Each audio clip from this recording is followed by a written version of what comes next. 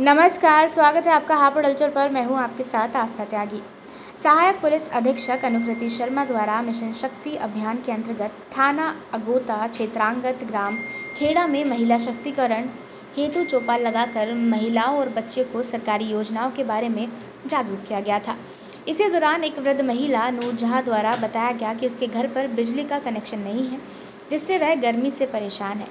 इसी क्रम में दिनांक 26 जून 2023 को सहायक पुलिस अधीक्षक अनिकृति शर्मा और प्रभारी निरीक्षक जितेंद्र कुमार सक्सेना थाना अगोता द्वारा ग्राम खेड़ी पहुंचकर बिजली विभाग से संपर्क कर महिला के घर पर कनेक्शन कराया गया तथा पंखा भी दिया गया।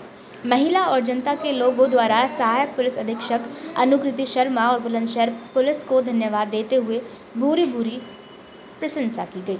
ऐसी तमाम खबरों के लिए देखते रहिए हापुड़ हलचल।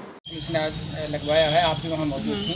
क्या महिला की डिमांड थी किस तरह उसका कनेक्शन लगवाया जैसा कि आप जानते हैं कि हम लोग जनता और पुलिस की दूरी को पाटने के लिए लगातार गाँव में जा रहे हैं, लोगों के साथ चौपाल कर रहे हैं, उनकी समस्याओं को सुनते हैं। उसी एक चौपाल के वक्त ये महिला नूरजहाँ जो है, काफ़ी वृद्ध महिलाएँ ये हमारे पास आई उन्होंने कहा कि मेरे पास बिजली का कनेक्शन नहीं है। बेसिकली इनके घर में काफ़ी आर्थिक तंगी है, ये विधवा है, इनकी बच्ची है जिसका विवाह हो चुका है, ये अकेली रह रही थी।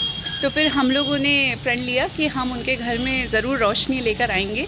हम लोगों ने विद्युत विभाग के साथ समन्वय स्थापित किया और उनको बिजली का कनेक्शन भी दिलवाया पुलिस विभाग की तरफ़ से एक पंखा और एक लाइट भी उनके घर में लगवाई।